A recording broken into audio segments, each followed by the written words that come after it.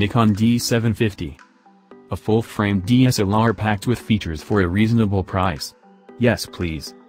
Sensor, full outline CMOS, megapixels, 24.3 MP, autofocus, 51 point AF, 15 cross type, screen right, 3.2 inch tilting, 1,228,800 spots, maximum persistent shooting speed, 6.5 fps, movies, 1080p, user level, enthusiast, master.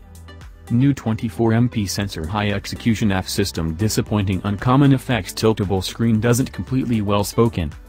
Until the entry of the Alpha A7 III, the Nikon D750 was our pick of the more moderate full outline alternatives out there. It's beginning to demonstrate its age, yet the D750 is as yet an exceptionally balanced DSLR that has a considerable measure to offer. This incorporates a breaking 24.3 MP sensor, conventional weatherproofing, a progressed 51-point framework and helpful tilting screen.